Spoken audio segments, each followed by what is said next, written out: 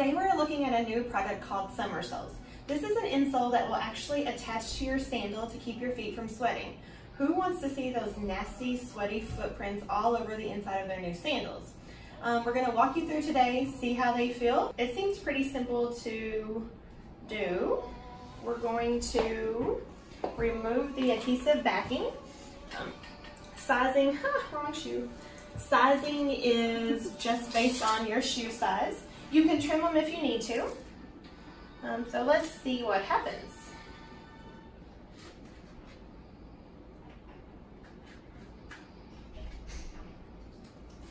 Perfect. I'll have to trim mine just a little bit, um, but let's see how it feels. Ooh. Okay, well the first thing I noticed is it's very suede feeling. It feels very soft. It fits the entire um, length of my shoe, the entire width, so that all is off to a good start.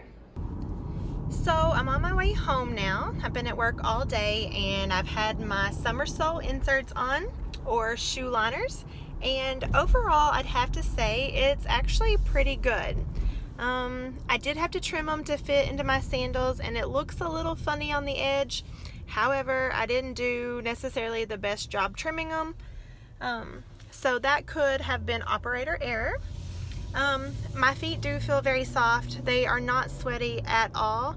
Um, I would say the soles have moved just a tiny little bit um, inside my sandal, but I believe that could also be due to the material that the footbed of my sandal was made from.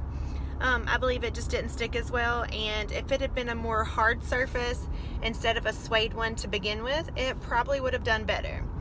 Um, overall, I think they are a good product, especially for someone whose feet sweats quite often um, or quite significantly. Then this is a way that would enable people to wear sandals and not have to worry about embarrassing um, footprints in their shoes or anything like that. So overall, good product and I definitely recommend them.